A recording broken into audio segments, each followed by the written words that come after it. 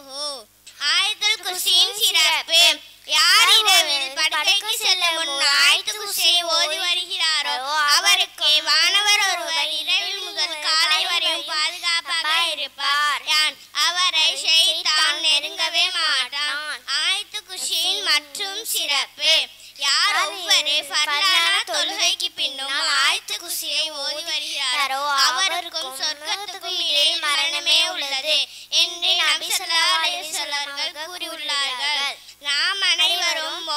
வரலாறு தொழுகைக்கு பின்னால் ஆயத்து குசியை ஓதிட்டு சொர்க்கத்தை அடைவோமாக இன்ஷா அல்லா அஸ்ஸலாமு அலைக்கும் வரமத்துல்லாஹி வபரகாத்துஹு.